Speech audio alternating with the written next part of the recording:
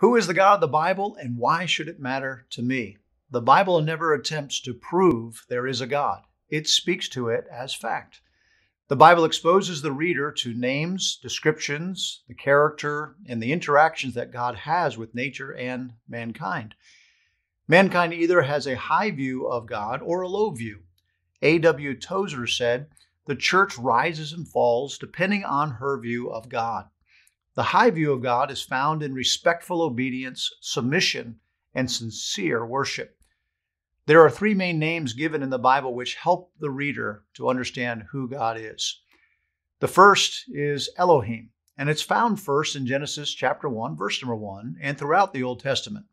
Here, God is presented as creator of all, and this name is in the plural form. Genesis 1:26, Elohim or God states, and God said, "Let us make man in our image after our likeness." Here we find the first mention of God in its plural in its plural form.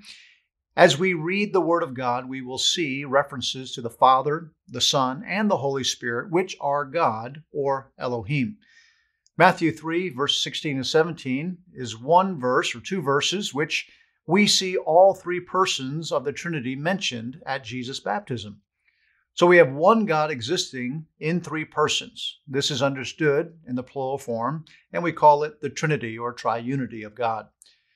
The second name is Yahweh or Jehovah or Lord, capital L, capital O, capital R, capital D. It is first used in Genesis chapter 2 and verse number 4 and is spelled with that all capital letters, as I mentioned, L O R D. This is different than Adonai, which we'll look at next. But according to Jewish tradition, around the third century BC, the Jews were fearful to violate the commandment, Thou shalt not take the name of the Lord thy God in vain. I wish that were more true today. But they would uh, not speak this name, Yahweh, out of respect. This led to a change in the proper name of God by abbreviating the name Yahweh to four letters, YHWH. In time, this name was pronounced Jehovah and is also recorded as Lord, capital L, capital O, capital R, capital D, in our Bibles.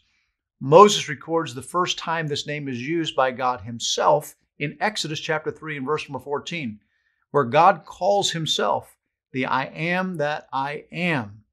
The meaning of the name Yahweh, Jehovah, or Lord is the self existent one or eternal God.